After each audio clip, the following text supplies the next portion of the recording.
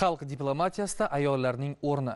Mirzo ulug'bek nomidagi o'zbekiston milliy universitetida vazirlar mahkamasi huzuridagi millatlararo munosabatlar va xorijiy mamlakatlar bilan do'stlik aloqalari qo'mitasi tomonidan o'tkazilgan xalqaro ilmiy amaliy konferensiya ana shunday nomlandi.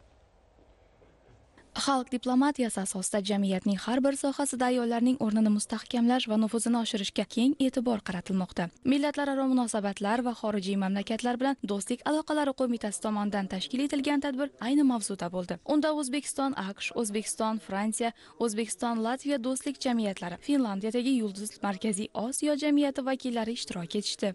Ayol ilmli bo'lsa ayol o'qimishli bo'lsa demak davlat o'qimishli bo'ladi kelajagi buyuk bo'ladi.